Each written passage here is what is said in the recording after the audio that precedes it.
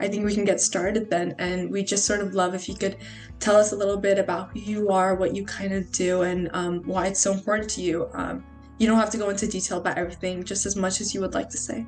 Um, my name is Brett Pierce. Um, I am a educator, program developer, producer.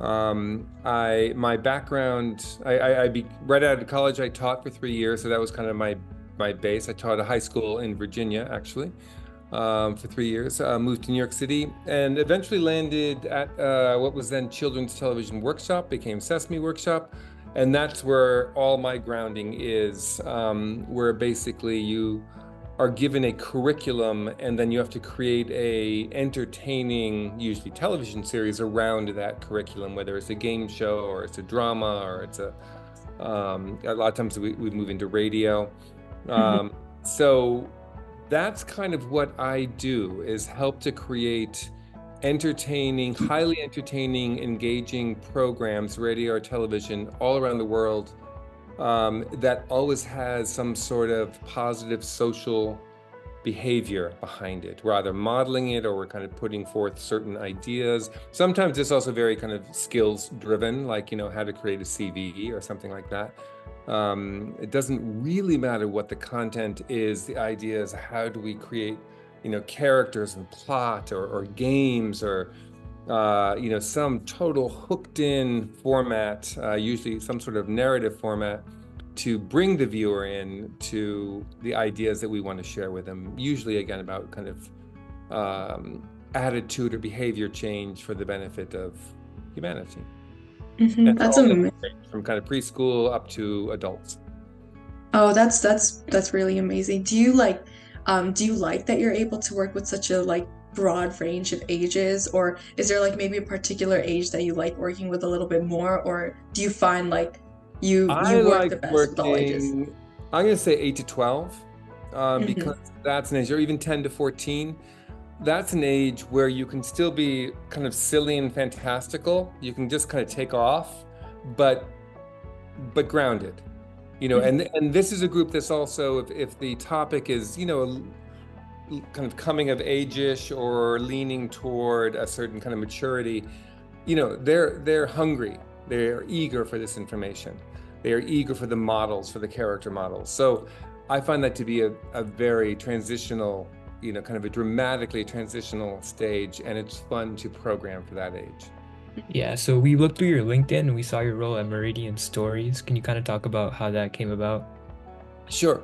Um, so somewhere along the line, I come back from traveling around the world quite a bit, and and I, you know, I, I in no way take for granted the good fortune I've had to be able to travel around the world and work with with uh, all sorts of amazing people. You know, television can be a pretty slimy industry, just kind of slimy people making programming which are not, which is, you know, can be out to, you know, destroy rather than um, be constructive and, you know, kind of engaging in a positive and joyful way.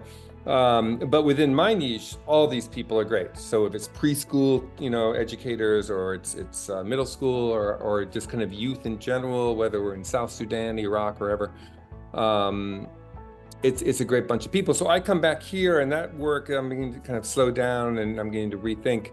And I'm like, what do I know that nobody else really knows? And it's exactly that. It's I know how to kind of take a curricular goal and create a story around it that's going to engage.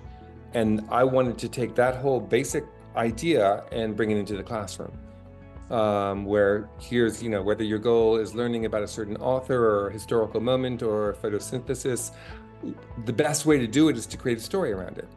And it's even better if you're creating a digital story around it because that involves all of these elements besides just words.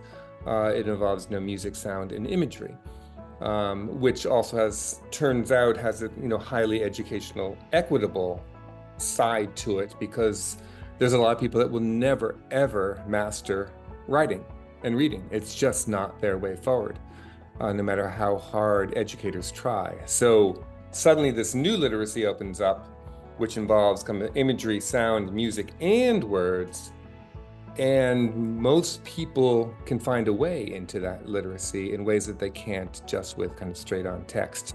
So, this idea which kind of originated from my from my experience with Sesame Workshop to kind of bring digital storytelling into schools, then happened to coincide with the rise of digital literacy and the rise of social media and the rise of everyone trying to create videos for YouTube and become an influencer, and then comes TikTok, and, and it just keeps going.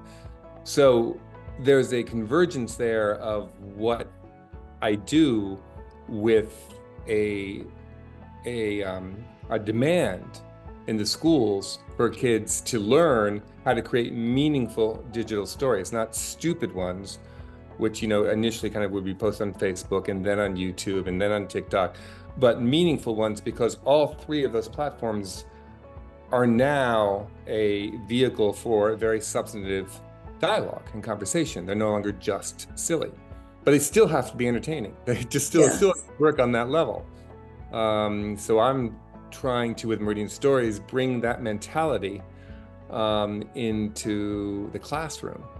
Uh, this is not a silly medium or a silly literacy. It's actually a, the most important literacy to come around in, I don't know, 5,000 years.